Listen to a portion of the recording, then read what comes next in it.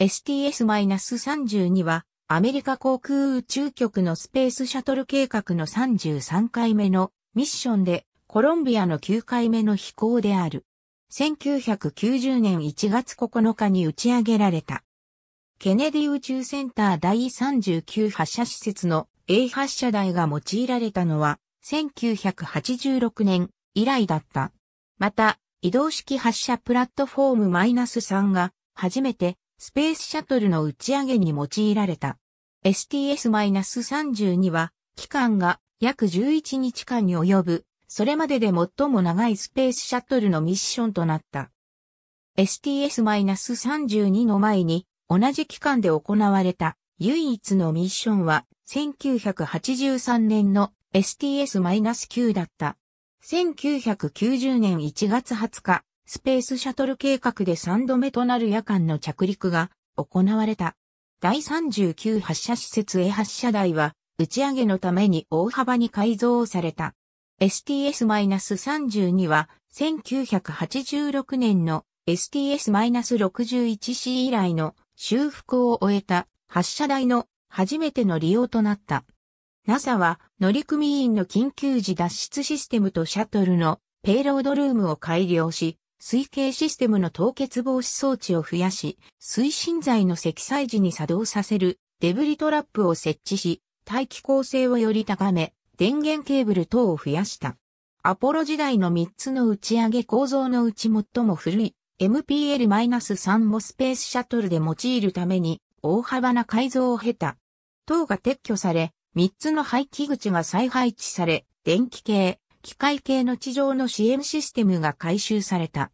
STS-32 の打ち上げ、シンコム崩壊後の展開コロンビアのケネディ宇宙センターへの帰還、STS-32 は1990年1月9日7時35分にフロリダ州のケネディ宇宙センターから打ち上げられた。打ち上げは当初1989年12月18日に行われる予定であったが、発射台への回収のために延期された。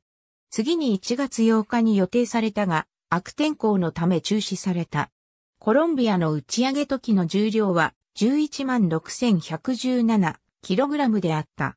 このミッションの主目的は、後にリーサット5として知られるようになった防衛通信衛星、シンコム崩壊後の展開と、スケジュールの変更と1986年のチャレンジャー号爆発事故のために4.5年も遅れていた NASA の Long Duration Exposure Facility の回収であった。シンコム崩壊後は飛行2日目に展開され、3段目のキックモーターが対地同期軌道まで運んだ。飛行4日目にダンバーは、シャトルリモートマニピュレータシステムを用いて、 LDEF を回収した。太陽からの放射の影響や、衛星の周りの環境のため軌道減衰が加速しており、回収のタイミングは決定的に重要であった。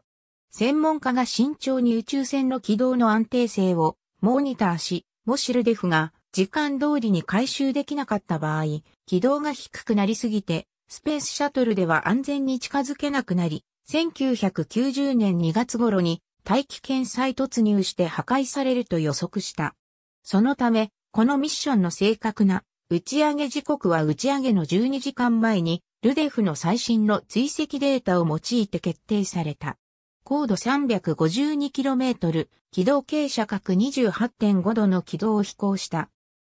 乗組員は4.5時間の写真サーベイを行い、技術や機器の試験も行った。小さなバスほどの大きさの衛星は、地球の帰還に向けて、オービタのペイロードベイに係留された。NASA はミッションの終了後に乗組員が長期間無重力への暴露とそれが着陸の際の乗組員のパフォーマンスに与えた効果についてのデータを得ようと計画した。STS-32 は11日近くとなるスペースシャトルの宇宙滞在記録を樹立した。16日間までの地球周回軌道でのスペースシャトルの運用を可能とするキットが開発され、後の1992年に STS-50 で初めて使用された。 LDEF の回収は IMAX カメラで撮影され、1994年の IMAX 映画 Destiny in Space で公開された。このカメラにより観測された地球も1991年の映画ブループラネットで使われた。コロンビアは1990年1月20日午前1時35分37秒にカリフォルニア州のエドワーズ空軍基地第22滑走路に安全に着陸した。機関時の重量は10万3571キログラムであった。ロールアウト距離は3271メートル、ロールアウト時間は62秒間であった。オービタは1990年1月26日にケネディ宇宙センターに戻った。シンコム崩壊後衛星の他に STS-32 のミッドデッキには以下のような多くの科学ペイロードが積まれた。そのいくつかは以前にもスペースシャトルのミッションで宇宙に行っている。左側の3つの星と右側の2つの星は、このミッションが STS-32 であることを表している。NASA はジェミニ計画の時から宇宙飛行士のために音楽を使う伝統を始めた。アポロ15号では音楽が初めて気象のために用いられた。それぞれの曲はしばしば宇宙飛行士の家族が特別に選んだもので、各々の宇宙飛行士にとって特別な意味を持つものか、日々の活動に適したものである。ありがとうございます。